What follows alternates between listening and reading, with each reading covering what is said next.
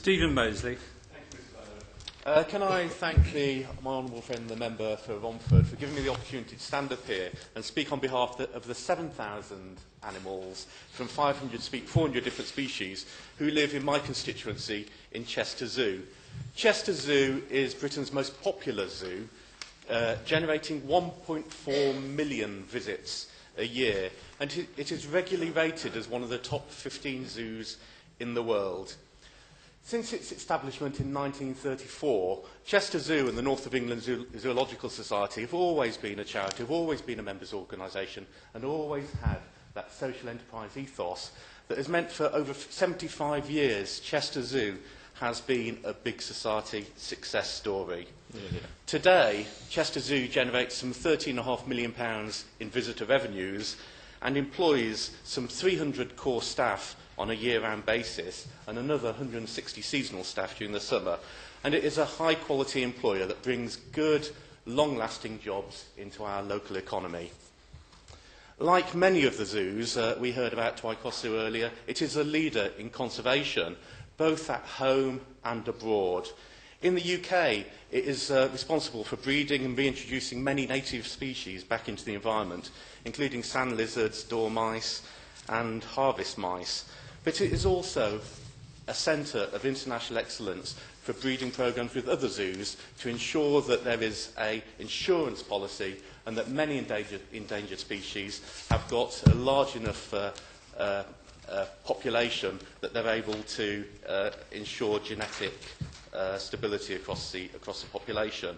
In fact, in the next year, uh, within the next couple of weeks, we're looking forward to the opening of a £250,000 giant otter breeding centre, which will include underwater viewing areas. It will include tunnels to allow you to pop up amongst the, the giant otters and to uh, breed giant otters, which are endangered species from South America.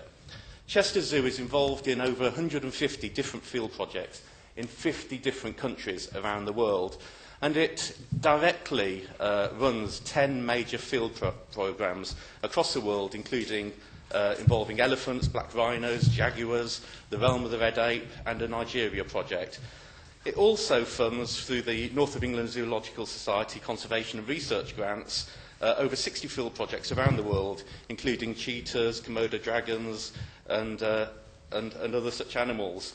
Like many zoos across the world, a lot of the international work that Chester Zoo does are based in the Far East,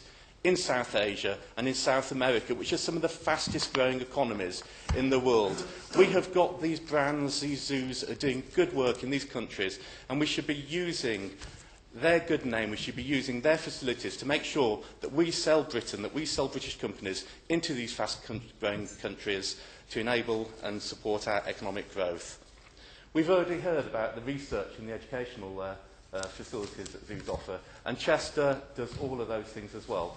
But I want to move on onto what Chester wants to do in the future because it has got huge ambitions.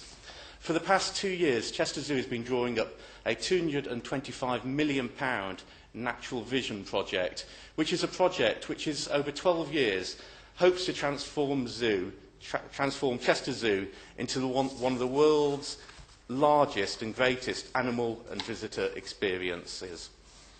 The idea of the, of the Natural Vision Project is to develop a series of theme zones and to expand by one-third the size of the zoo to make it one of the largest in Europe.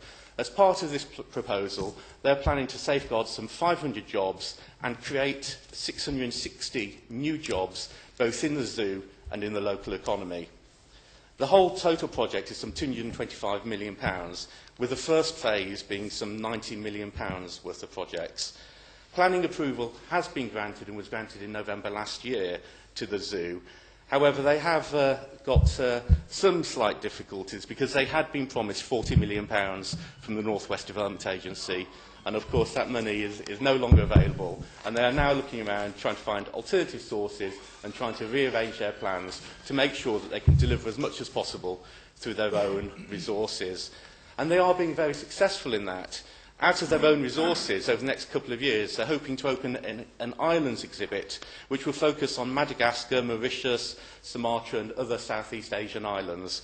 And it will feature an in, Indi Indonesian show house, it will fo feature boat rides and underwater viewing of, of animals, and it will house Sumatran orangutans, tigers, Komodo dragons, uh, fruit bats and crocodiles. As part of the proposal, they're also looking at creating a 150-bed themed hotel, which will be built directly into one of the theme zones. The idea of the zoo uh, in developing the natural vision is to make sure that people, when they come to visit the zoo, it's not just a one-day experience. They come, they come and spend the night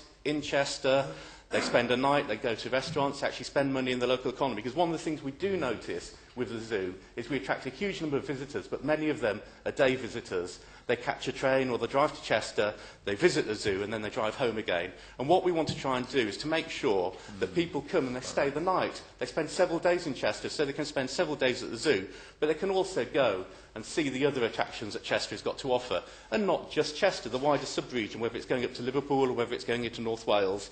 Chester Sioux sees itself as a real engine for growth locally, and with its large, high-profile uh, projects it's got planned in the future, it can really, really deliver those economic benefits. As I've said, the North of England Zoological Society, Chester Zoo, has got huge ambitions, and that is down to the work of Mark Pilgrim and Barbara Smith, the Director General and the MD of the zoo. Uh, and uh, it just remains for me to to ask the Minister that if he is interested in seeing the good work that zoos do in the local economy, if he is interested in seeing good work that is planned for the future, Chester Zoo and Chester be more than welcome to welcome him.